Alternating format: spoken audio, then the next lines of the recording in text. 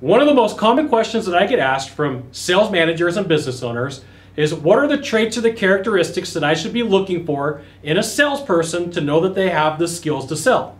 So I tell them the Eclair formula. I'm Scott Sylvan Bell. It's July 29, 2017, 5 o'clock in the afternoon. Perfect day here in Sacramento, California to talk about how to hire and how to find top salespeople. Now, this is video number 1500 on my YouTube channel. So I figure I'd give you some pretty cool insights since it's a momentous video. Now, I use this thing called the Eclairs formula when companies hire me to go through and sort through people who they're thinking about hiring. Okay, so it's an acronym, Eclairs, and so the E stands for empathy. Now, I got a chance to sit down with my good friend and coach, Dr. Kevin Hogan, and I asked him a couple years back, I said, Kevin, uh, what is the one most hidden characteristic of influence that most people don't understand? And he told me empathy. And I said, wow, that's kind of interesting. I would have thought it would have been something else. And he said, you know, think about this. Bill Clinton, whether you like him or you don't like him, is known for having empathy, and he can sway people's decisions based upon that movement. So, you know, if you live outside of the United States, I'm sure you know who Bill Clinton is. If you live here in the United States, I'm sure you know who it is.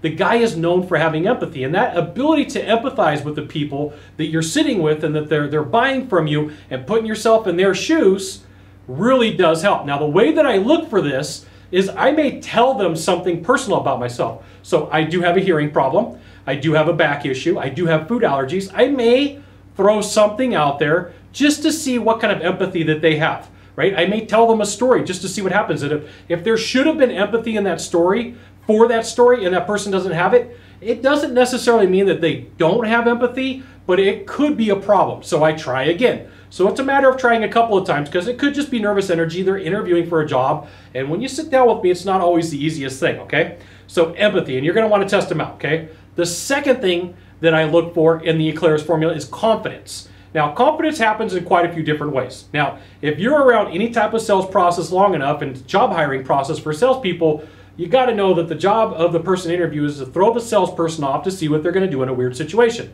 Now, I think back of like the perfect situation would be from Chet Holmes. Chet Holmes used to tell people, hey, look, thanks for interviewing with me. I got to let you know I see a salesperson here, but I don't see a closer. And he would look for that person to come, the person to come back, the salesperson come back and give some pushback, right? You can test the person to look for confidence. You could tell them, look, I don't believe that answer, or I'm not sure of it. There's lots of different ways to test the confidence. But you're going to look for a couple of things, and here's what you're going to look for. You're going to look for posture. A good confident person is going to have straight across shoulders. Their chin's going to be at a pretty good level. The pace of speech that they have is going to be remain constant. It's not going to fluctuate up or down a lot. There's not going to be a bunch of uh, pauses, ums, and ahs. These are all signs of confidence. It doesn't mean like every single one of these things have to be here. And you can watch the person's breathing pattern. You can, if they just keep asking you questions to avoid the question, you know that they lost some confidence. But confidence is key because you got to know is that anytime that a salesperson goes against somebody buyer, buying and the buyer gives them some sort of objection, if they lose confidence really quick, it's really tough to get back on track and make that sell without a huge amount of discounting. It can happen, but it usually takes a lot of discounting, okay? So the second thing is, the third thing is leadership. Now, there's a lot of things that happen in the sales process that you may not have thought of. But as a salesperson, you have to hold the person accountable that's sitting across from you or coming to buy something from you. And it takes leadership skills. It takes some of like, this is what's going to happen. This is what we're going to do. You're going to look for, for patterns of their conversation. Like, this is what it's going to take. This is what I'm going to do for you. You're looking for certainty. You're looking for them saying, I'm going to take charge and this is what I'm going to do. Okay. So you could build some doubt and say, hey, look, you know, I don't really think this is the job for you, right? I don't know if this is the right fit. And they go, hey, look, I got to let you know, this is something that I'm all in for. This is something that I can handle. Or you could give them a situation. You could give them a situational type of a question. You could say, hey, this happened. What would you do? You're going to look for their leadership skills, okay? Now, Fourth thing is attentive. Are they attentive to what's going on? Do they pay attention to who's in the room? Do they pay attention to names?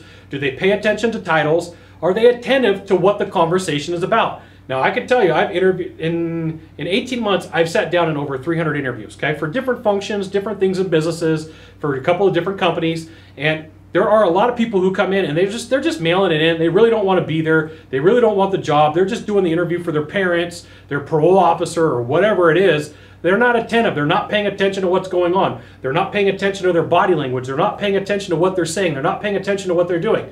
They're not paying attention to the answers that they're giving in a conversation. Are they attentive? Okay? Fifth thing, are they interesting?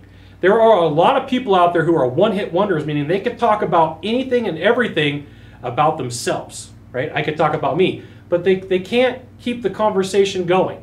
They can't keep uh, the, the, the whole conversation interesting. And you got to know as a salesperson, there's times where you have to keep the, the entertainment going. And if you only have like one thing to talk about, like, there, and you know this, this is a person who was in high school and they scored the winning touchdown. It's the only thing they talk about. They're not interesting. They have no conversation skills. They have no rapport building skills. So in this is going to be rapport building. So I got to let you know, as part of a test, one of the things that I do in a job interview for a salesperson is I let it get awkwardly silent.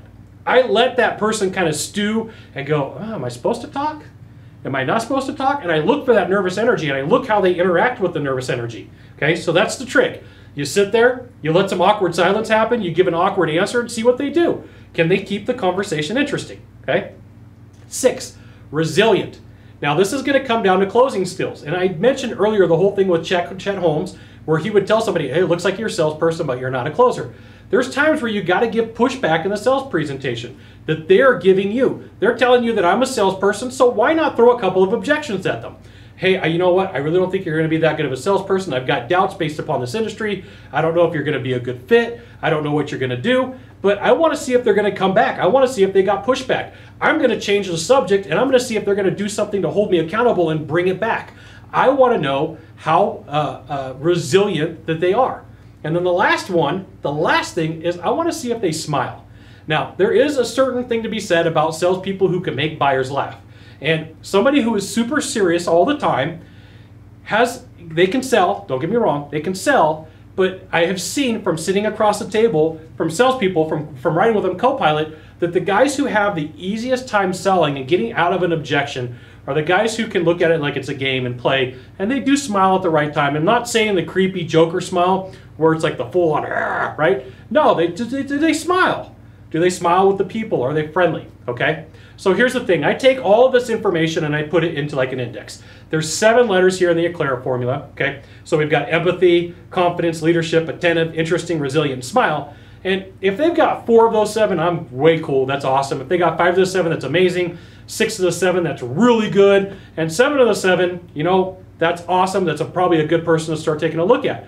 Now, it doesn't mean that the person that you're sitting with that has these skills is a closer right off the bat. They could need your coaching, they could need your help, they could need skills training. I'm just saying, these are the characteristics that I look for when I'm sitting down and someone says, Hey, Scott, we need you to come take a look at applicants and we need you to do the interview and go through the entire process with us. So there you go.